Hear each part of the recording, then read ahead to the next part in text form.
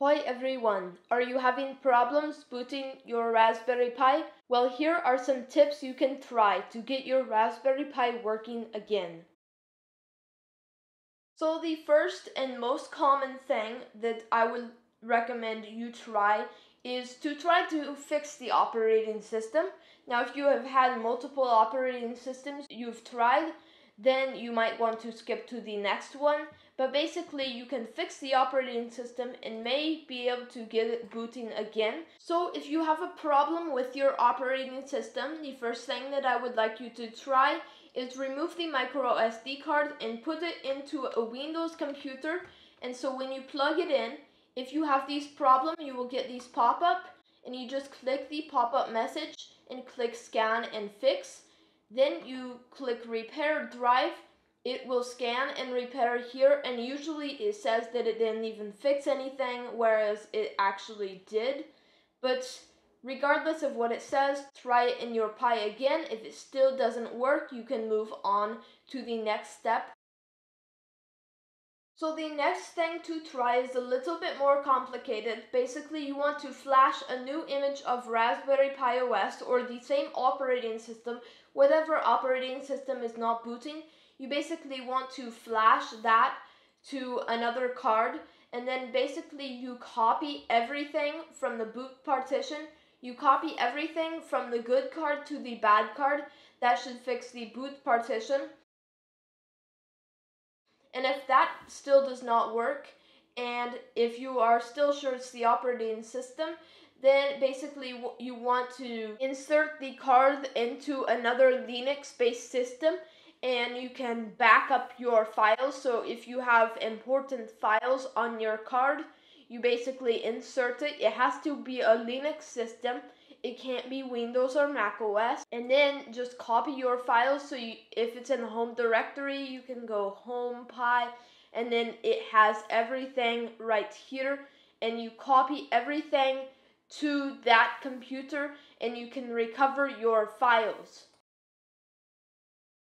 Now, if it's not the operating system and your Pi is just not booting at all, Here's another fix you can try. Download Raspberry Pi Imager if you haven't already. Then open it up.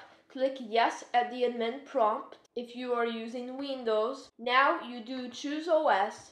Then you go down to the miscellaneous utility images. Then you go bootloader.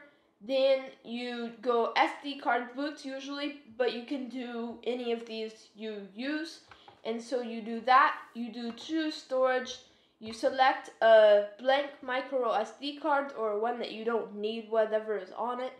And then you click write, you click yes, and it will write these. Now you want to go ahead and insert that card into your Raspberry Pi and then flip the power switch or plug it in and you get the green screen right here.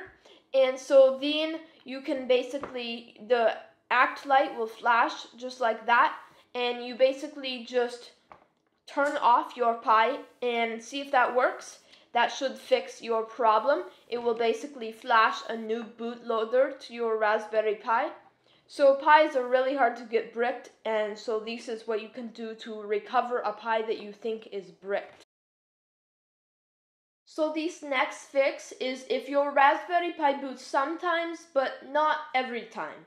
So basically what you want to do is head over to the terminal and you want to type sudo raspi-config then you press enter and it will bring up this configuration tool. You want to go to advanced options. And then you want to do bootloader version. And then you want to do either latest or default but I'm going to do latest right here and you do enter for yes and basically this will update the bootloader. So if you have an older buggier version you do that. And so you just navigate with the arrow keys here and you reboot when you are done and see if that fixes your problem.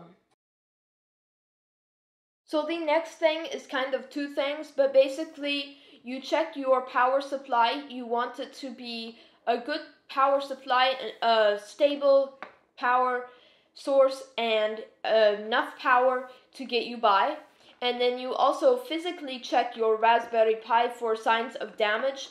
See if anything is loose on the Pi. So you can just take it out like this and make sure that the power plug is making good contact and everything is unharmed.